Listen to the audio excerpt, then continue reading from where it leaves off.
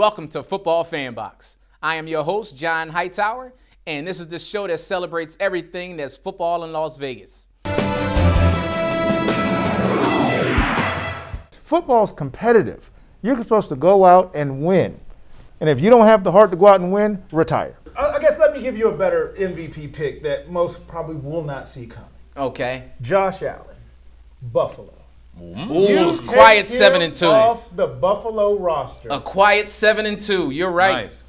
I'll go Where with are that. the Buffalo Bills without Josh Allen? They're six and three. He's never been hit like that. I can guarantee he's never been hit like that in his life.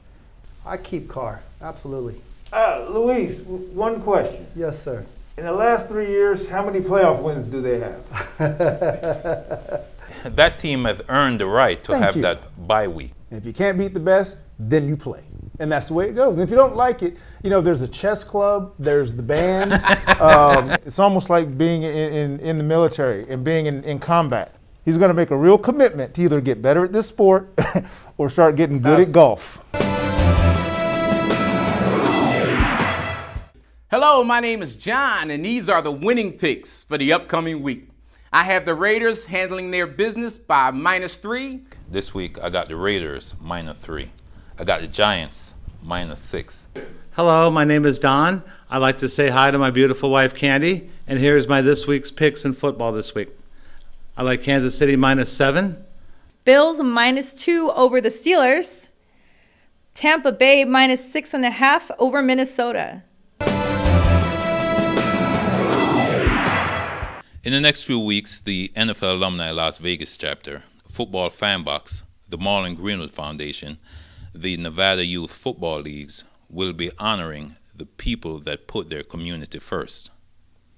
These are the police, the nurses, and the first responders. These will be the first recipients of this award.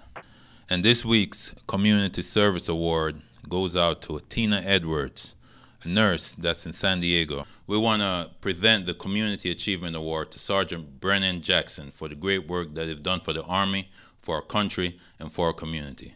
And the Hero of the Week award goes to Marilyn Jordan for the great work that she is doing.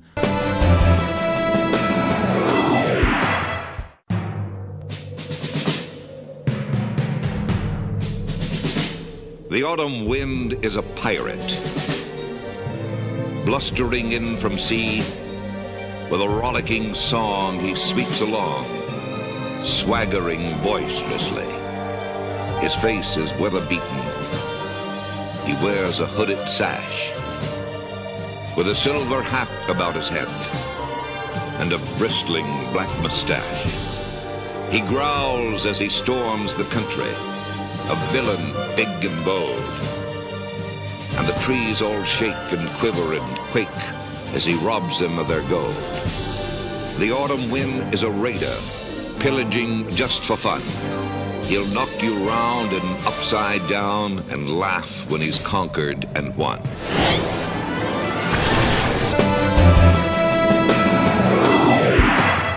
If you had an opportunity to ask an NFL player or ex NFL player advice, what would you ask them?